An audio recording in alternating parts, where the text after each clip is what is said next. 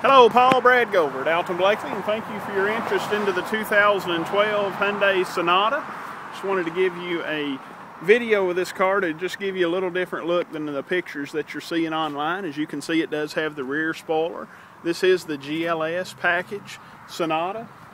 We have it priced at 16,995.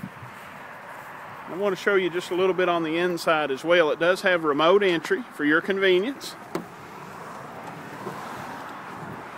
Height adjustable driver seat, power windows and door locks, AM FM CD player. Of course, it is an automatic as well.